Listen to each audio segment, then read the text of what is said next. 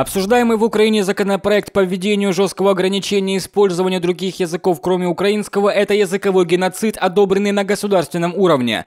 Такое мнение в ходе еженедельного брифинга высказала официальный представитель Министерства иностранных дел России Мария Захарова. Также она добавила, что это является инструментом борьбы с инакомыслием. Если бы Киев потрудился собрать информацию о том, какие языковые вопросы решаются в европейских государствах, они бы поняли, что все эти годы приверженности к европейским ценностям, они шли в противоположном направлении. Захарова подчеркнула, что одобрение подобных документов означает фактическую легализацию насильственной украинизации страны, а также узаконенную борьбу не только с русским языком и культурой, но и с языками иных этнических групп, проживающих на Украине.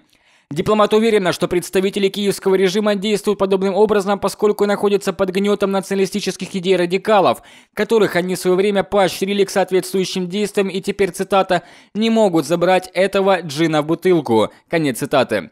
При этом Захарова отметила, что эти попытки сыграть на языке в русле заигрывания с радикалами могут действительно дорого обойтись украинским властям.